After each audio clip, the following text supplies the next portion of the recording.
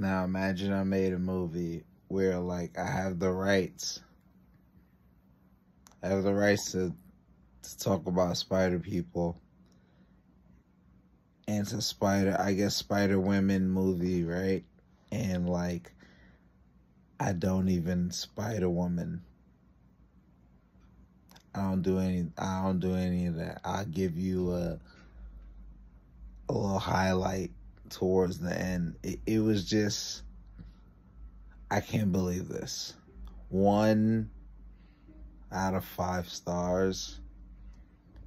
Madame Web, they didn't even understand who. One out of five stars.